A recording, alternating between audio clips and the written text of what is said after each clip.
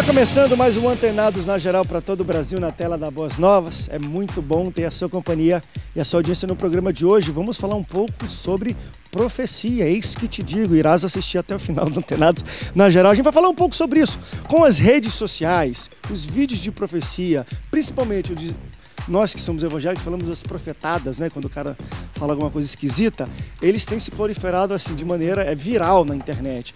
A gente vai abordar um pouco sobre isso. O que a Bíblia fala sobre esse dom, sobre a profecia, sobre a pessoa que, vamos dizer assim, que carrega, que tem esse tipo de dom. Que tipo de pessoa? Existe critério para Deus dar um dom desse para alguém? E vamos falar sobre algumas coisas que a gente viu na internet, profecias. Existe profecia para da morte? É esse que diz que tu irás morrer. Toda vez que morre alguém famoso ou um político, sempre aparece na internet alguém que, né, de uma profecia que diz que ia cair um avião, que não sei o que e tal.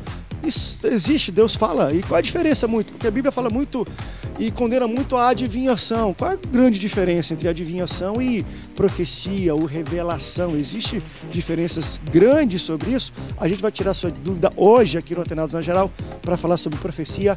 Recebo ele que é bispo-presidente do Ministério Missionário Ebenezer, pastor o bispo Itamar Oliveira. Bispo, bem-vindo ao Atenados na Geral.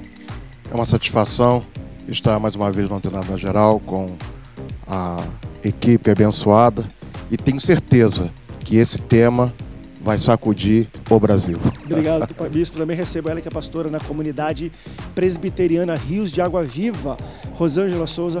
Bem-vinda a Tenaz na Geral, pastora. Amém, André. É sempre um prazer estar aqui convosco e hoje tendo comunhão com os nossos amados companheiros de ministérios aqui da bancada, que eu creio que juntos iremos somar no reino em nome de Jesus. Obrigado. Também recebo ele que é pastor presidente da Igreja Vida e Comunhão em Santa Cruz, no Rio de Janeiro, pastor Carlos Portela. Pastor, bem-vindo. Paz, André, boa tarde para todos. O tema é, como sempre, um tema bem sugestivo, palpitante. Vamos falar aí sobre um assunto que é bem pertinente nos dias atuais e vai ser benção. Obrigado pela sua presença. Também recebo ele que é pastor da Igreja do Evangelho Quadrangular, pastor Sebastião Bittencourt. Pastor, bem-vindo ao Antenas na Geral. Obrigado, André. É mais prazer estar mais uma vez aqui nessa casa, onde sempre eu tenho sido recebido com muito amor, muito carinho. E já quero, André, deixar aqui para toda essa família das Duas Novas um Feliz Natal, um próspero Ano Novo, né? Deus continue abençoando essa família e continue nos abençoando. E esse tema de hoje, como já foi falado aqui, vai realmente chamar muita atenção. Você que está aí do outro lado, fique atento, porque nós temos coisas fortes a ser tratadas. e a gente que vai na igreja estamos acostumados, né? Até às vezes faz parte da liturgia. Olha para o irmão do lado, profetiza aí, um 2016 abençoado. A gente ora, amém. A gente está acostumado um pouco com o linguajar, talvez seja até um pouco desgastado, né? Essa questão, ah, profetiza, profetiza, profetiza em nome de Jesus. A gente usa muito isso, mas o que é profecia? Tem como a gente tentar definir isso? Porque muitas pessoas entendem, eu tenho, eu tenho a perspectiva que profecia é você. Eu não vou usar a palavra adivinhar, porque entra na aviação, mas é você revelar o futuro de alguém. É falar o que vai acontecer no futuro. Ah, é exatamente isso, e muitas pessoas perguntam: quer falar do que aconteceu ou do que vai acontecer? Do que aconteceu a revelação, do que está para frente a profecia? Existe alguma regra na Bíblia para a gente poder definir o que é profecia e como a gente diferencia profecia de adivinhação? Então, quando você é, é, fala de profecia, você está falando daquilo que é a vontade de Deus para o homem. Então, Deus pode usar alguém para liberar uma palavra, não é? E aquela pessoa simplesmente ser um canal que transmite. Os profetas eram assim. Deus queria repreender o povo, ele usava um profeta e liberava uma profecia. Elias é um exemplo. Elias, Deus, ele fala para Elias liberar uma palavra e Elias libera é, e três anos e meio não chove. E depois volta a chover por conta de uma palavra novamente profética de Elias. E assim Deus fazia no, no passado.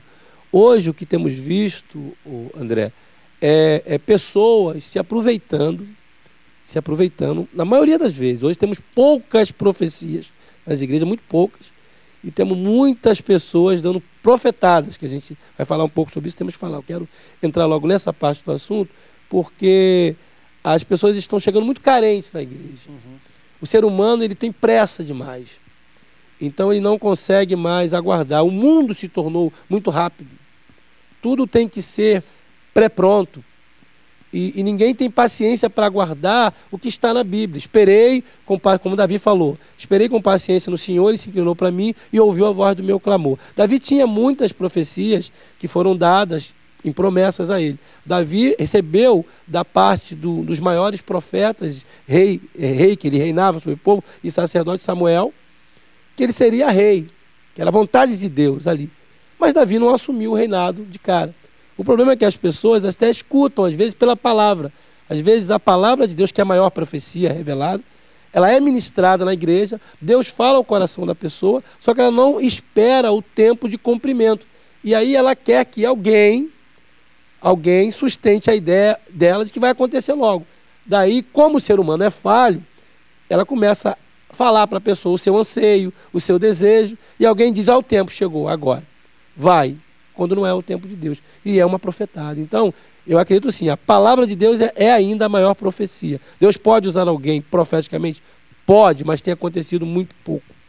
Dentro da, daquilo que André iniciou aí sobre ah, Deus pode revelar, Deus pode.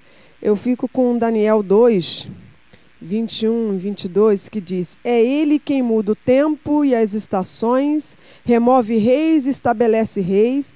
Ele dá sabedoria aos sábios e entendimento aos inteligentes. Ele revela o profundo e o escondido, conhece o que está em trevas e com ele mora a luz. Então, Deus ele pode fazer sim, Deus ele pode A senhora revelar. lê bem, porque é pequena a letrinha da Bíblia. Daqui um dia. O óculos é bom, o óculos é bom. Né? E... É tudo profecia, André. Deus está me dando aqui, eu estou mandando. Estou sendo canal de Deus para vocês. Então, quer dizer, a Bíblia é bem clara, né? Ele revela o profundo e o escondido. E algo que me chama mais a atenção, ele conhece o que está em trevas e com ele mora a luz. Então Deus pode sim revelar, só que dentro desse, dessa esfera divina, né? Hoje está diferente. Hoje em dia está dentro desse contexto que o pastor Carlos acabou de falar aí.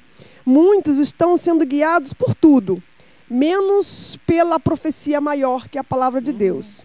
Muitos estão sendo guiados por terceiros, muitos estão sendo guiados pela irmã, a casa da irmãzinha que tem oração, a casa do Então não, não, não consegue ouvir mais os seus líderes, os seus profetas, que a Bíblia diz que Deus revela os seus segredos aos seus servos, os profetas. Então não consegue mais ouvir, porque não existe mais princípio de honra. Então hoje em dia é fácil ser guiado por uma profetada do que ser guiado com aquilo que é princípio de Deus, porque o que é princípio de Deus às vezes dói porque vai fazer você é, olhar em si próprio e ver, poxa, eu não sou tão bom como parecia ser. E com isso vai trazer um tratamento de Deus. O tratamento de Deus às vezes dói um pouquinho. E, nem, uhum. e todos é, são poucos aqueles que querem se submeter a isso. Então, às vezes leva o nome de igreja, mas não vive como igreja. Aí vive dentro desse princípio errado aí, porque é mais fácil. E é fácil identificar, porque o Pedro falou, rápido, rapidinho mesmo, em 2 Pedro 2,1, Pedro fala sobre os falsos profetas. Ele diz que se introduziria em nosso meio falsos mestres e que seria fácil identificá-lo, porque eles introduziriam heresias. Então, é fácil identificar uma profecia. Ela sempre é acompanhada, falsa profecia. Ela sempre é acompanhada de uma heresia. Com certeza. Ela e, sempre é acompanhada de uma heresia. E tem um detalhe muito importante que Paulo é, é, nos ensinou, nos orientou a retermos o que é, o que é bom, retermos o bem.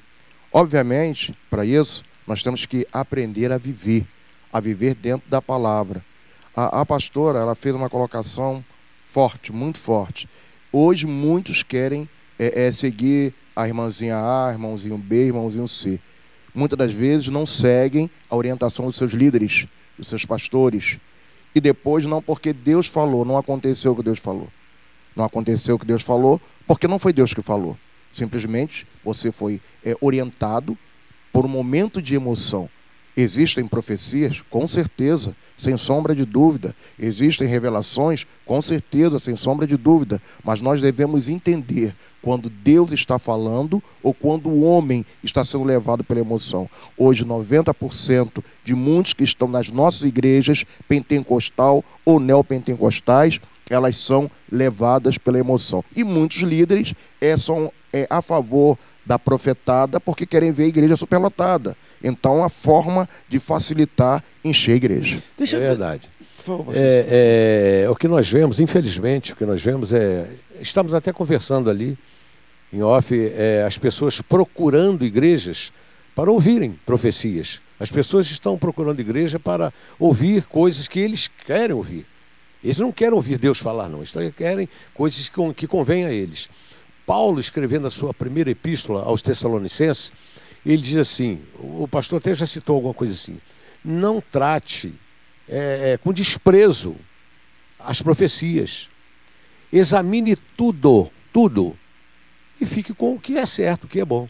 Então nós temos que examinar, nós temos que ter a sensibilidade do Espírito Santo de Deus para sabermos se realmente aquela profecia está vindo de Deus ou não, porque infelizmente, amados, que nós temos visto dentro das igrejas são profecias, profecias que têm realmente destruído famílias, têm deixado as pessoas caídas na fé, porque as pessoas muitas das vezes acreditam em um profeta, em uma profecia, uma profetada, como estão dizendo aqui, e aquilo não acontece, então nós sabemos que aquilo não foi de Deus. E as pessoas se decepcionam e abandonam a fé. Quantos casos nós temos visto disso aí?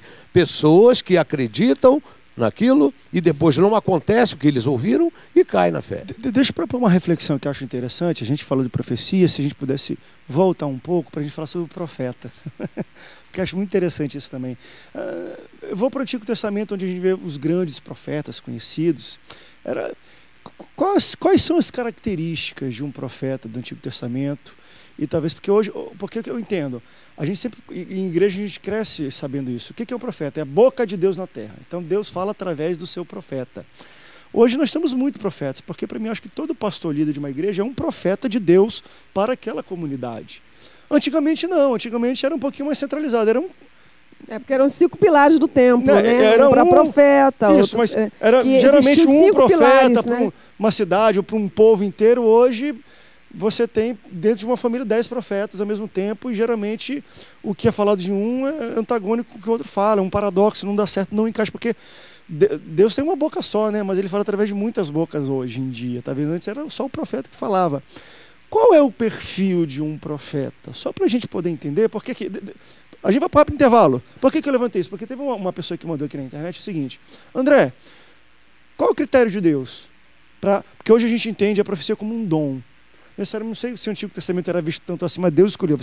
Hoje é visto como um dom, assim como outros dons que existem. Existe o dom da profecia, que é diferente de ser profeta. Ser profeta. Vamos falar aí, um pouco sobre é isso. Porque quando a gente fala de profetada, a gente está falando de dom de profecia. Isso aí. Não estamos falando necessariamente do, do profeta. Do cargo, é. vamos dizer, do, do chamado, chamado, do profeta. Um dos cinco ministérios. Mas o profeta do Antigo Testamento, que era o chamado profeta, ele também vinha com ele a profecia, porque ele falava: olha Deus está mandando para cá. Ele dava para onde seguir. Porque a diretriz, assim, né? Qual é o critério de Deus para distribuir esse dom? Aí ele falou assim, porque eu conheço uma pessoa que é um vizinho meu, o cara não vale nada, sem vergonha, nó cego, escreveu um monte de coisa. Vai na igreja, o cara levanta a profecia e acerta a profecia. O cara é usando a profecia e dá certo o que ele fala. Acontece. É como se Deus... Ó, como é que é isso? Deus pode usar um cara que não vale nada, não sem vergonha, e usar ele como boca dele para entregar a profecia? Vamos para rápido break, daqui a pouco a gente volta, que vai esquentar o negócio, tá bom? Prepara aí, ouvido. Profeta aí, você que está. A gente volta já já, não sai daí.